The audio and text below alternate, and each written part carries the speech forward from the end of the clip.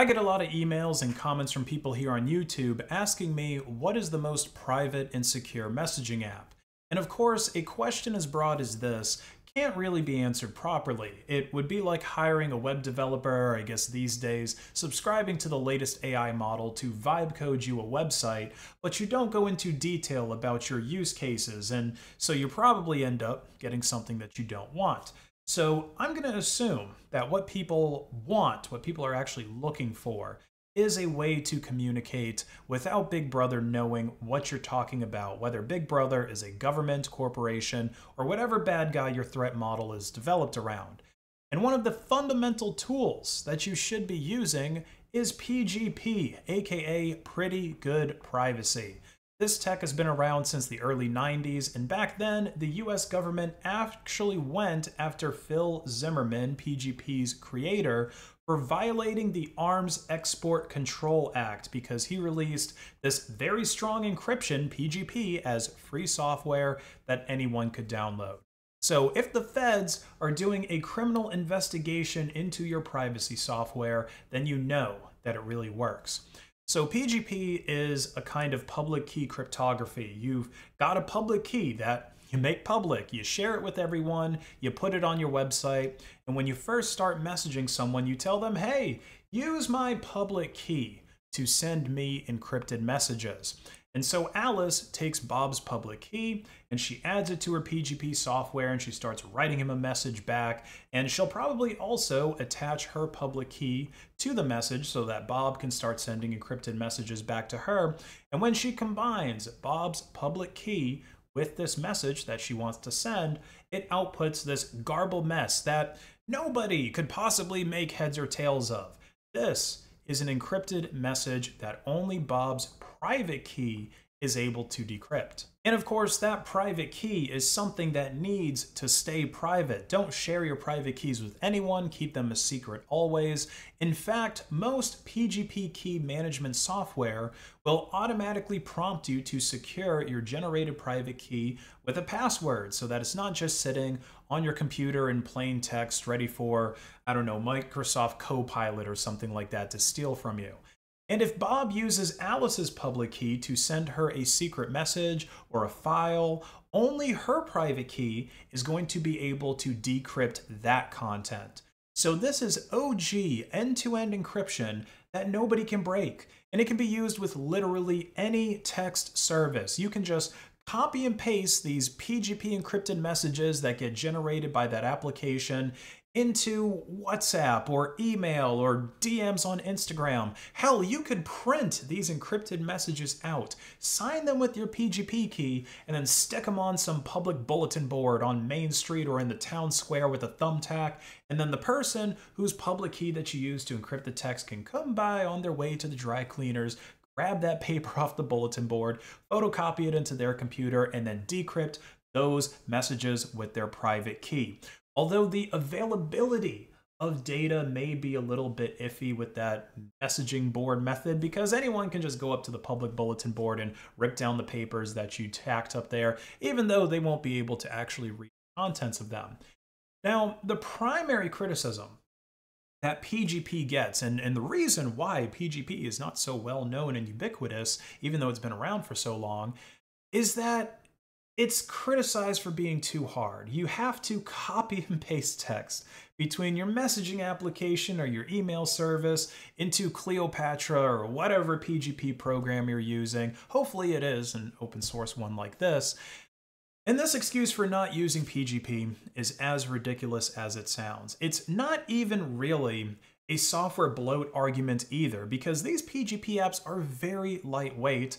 I'm sure that there is some bloated Electron-based abomination out there for PGP, but the average computer user has like 30 Chrome tab open anyway, so bloat is pretty much a long forgotten concern amongst most modern computer users.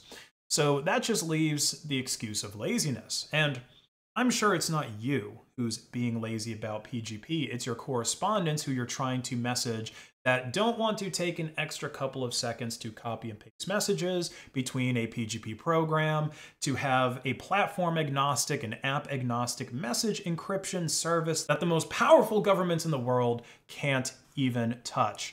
And so at that point, you really have to ask yourself if this person that you're trying to correspond with is going to be a serious player in whatever job or activist activity that you're trying to plan out with them on an encrypted channel.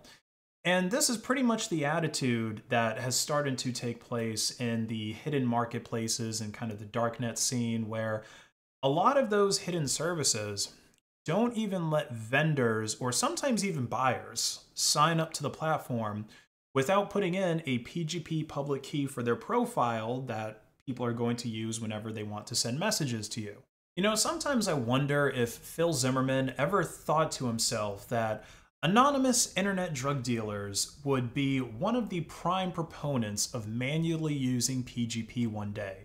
I mean, he did know that terrorists were using it because, well, for one, they were the big boogeyman back in the 90s and especially in the early 2000s after 9 11. And of course, that's the trade off that you have with strong encryption. If it really works, then the bad guys are going to use it too. And the only way for it to really work is for it to be available to everyone, like the OpenPGP standard.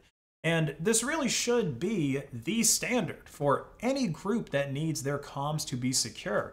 PGP was originally developed and released as software for preserving human rights because free communication without the possibility of censorship either imposed by some kind of automated filter system or self-imposed by the users, the person sending the message for fear of the repercussions from their government or whoever if they see it, is fundamental. And that was pretty much preserved here by creating strong encryption that anyone can use anywhere. And of course, releasing the source code for this so that people can audit it to check for backdoors and compile their own binaries from source if they really want to. And I know some people will probably mention Proton Mail or some other web based email service that lets you put in your own PGP public key and use other people's public keys to send encrypted emails automatically. So that from the end user's perspective, they don't have to take that extra step of switching between two programs. They can just type out a plain text email in the web page and then send it off and Proton Mail or whatever service is going to handle that encryption for you. Okay, so that's great when it really works. But you've got to put a lot of trust into those email services that a, they've implemented that encryption correctly, and that B, they're not collaborating with a government under an NDA to tamper with that system the next time that you log on.